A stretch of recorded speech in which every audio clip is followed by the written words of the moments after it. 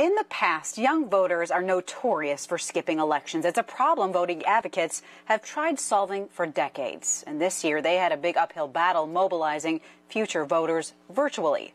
Amanda Brandeis explains the new strategies with only hours left.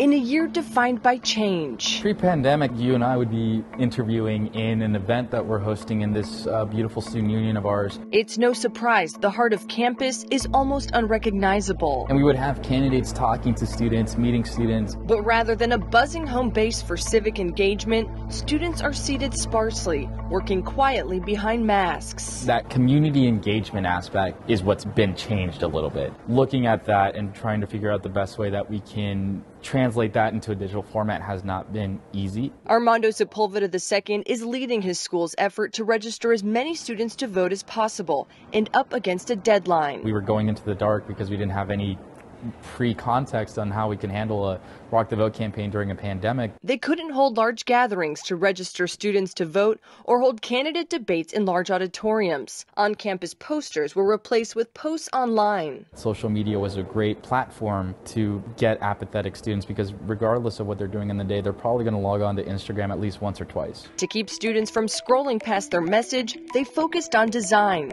We wanted to make it as simple and visually interesting as possible because the more we make it digestible, the more people we're going to reach out to. They replace campus walkarounds with Zoom arounds, crashing club meetings to discuss propositions, how to get your ballot, and making sure it's counted. Pre Dental Society, the Pre Law Society, um, women in STEM, women in business. They also held community forums online with local candidates. I think a lot of young people want to have a renewed sense in trust in the government.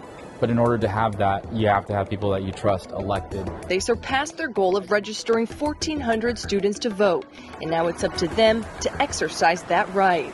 In San Diego, I'm Amanda Brandeis reporting.